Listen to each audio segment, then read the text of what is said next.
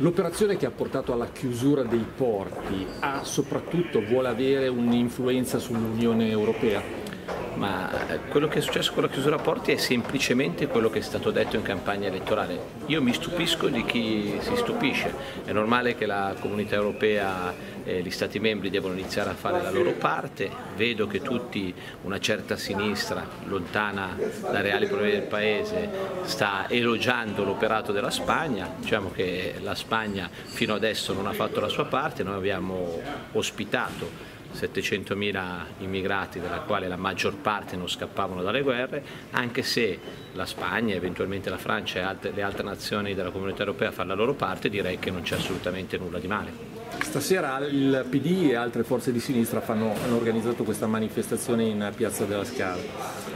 Sì, a me stupisce questa cosa, secondo me non hanno capito neanche politicamente, non stanno capendo politicamente che cosa realmente vuole, vuole il Paese. Qua c'è una tratta di schiavi, diciamolo in maniera chiara, ci sono flussi di denaro, ci sono degli interessi dietro che stanno, più, stanno diventando sempre più chiari, dipende da che parte si vuole stare. Noi stiamo dalla parte degli italiani, dalla parte della gente, loro stanno dalla parte di chi fa carne da macello di queste persone. Tra le altre cose sono tutte, sono tutti, sono tutte persone che arrivano da zone dell'Africa dove ci sono tassi di crescita che in Italia ci scordiamo, dunque non facciamo altro che portare via le forze migliori e far sì che come al solito, come spesso è stato fatto nei confronti dell'Africa, il Paese non, non, abbia quei tassi di sviluppo che merita perché sono anche paesi dal punto di vista delle materie prime molto molto ricchi. Tanti ballottaggi in Lombardia, strizzate un po' l'occhio all'elettorato dei 5 Stelle?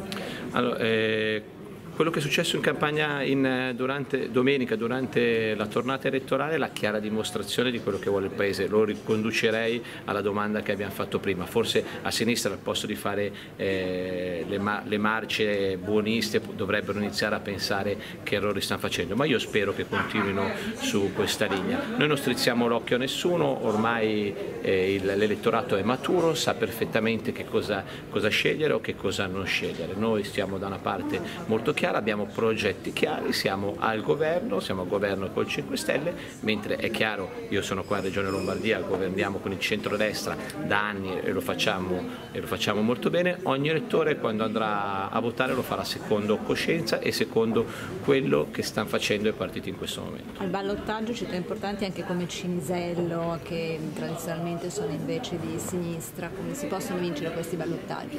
Ma io credo che si vincono sui programmi. Eh, a Cinisello abbiamo vinto a Bresso, a Cinisello siamo avanti, sono convinto che vinceremo anche a Cinisello, abbiamo un grande e bravissimo candidato sindaco molto giovane che è Ghilardi, un'ottima, un squadra, stiamo andando a espugnare un altro feudo della, della sinistra e ormai questa è la linea, noi siamo dalla parte degli italiani, dalla parte del popolo, dalla parte di chi eh, produce e crea valore, dall'altra parte c'è una sinistra che pensa di più alla finanza, agli interessi finanziari, stanno pagando in cabina elettorale quello che hanno fatto a livello politico distruggendo il Paese negli ultimi sette anni.